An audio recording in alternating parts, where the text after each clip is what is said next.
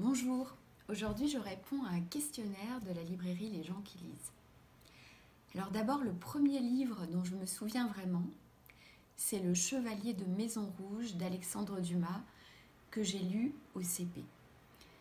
Et j'ai un souvenir exaltant de ce livre qui m'a donné beaucoup de sensations fortes. Je me souviens d'avoir euh, tremblé, été émue, prise par le suspense. Euh, c'est une histoire qui se passe autour de Marie-Antoinette et d'une tentative pour la faire évader de la conciergerie.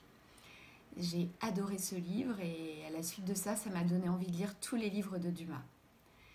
Ensuite, le livre qui m'accompagnera toujours, c'est Fortune de Robert Desnos. C'est le recueil de Desnos que je préfère, qui m'accompagne depuis que j'ai 16 ans.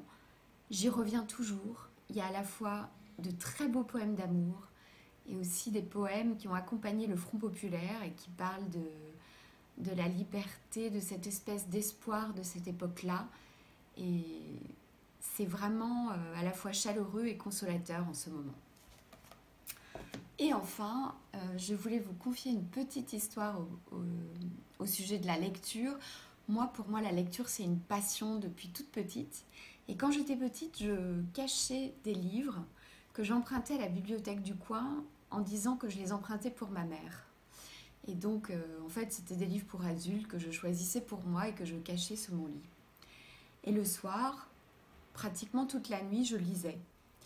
Et euh, contrairement à aujourd'hui où parfois il faut euh, vraiment insister pour que les enfants lisent, moi c'était le contraire. Mes parents, ils essayaient de m'empêcher de lire pour que je sois à peu près en forme à l'école.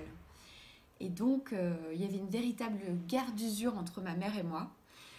Elle venait, au bout d'un moment, elle me grondait, elle m'enlevait ma lampe. Et une nuit, elle m'a retrouvée dans le couloir en train de lire à la lueur de la lune. Et je me rappelle encore son soupir euh, de lassitude. Genre, euh, bon, j'y arriverai jamais, elle continuera à lire toute la nuit. Voilà. Je vous souhaite de belles lectures de confinement et je vous dis à très bientôt.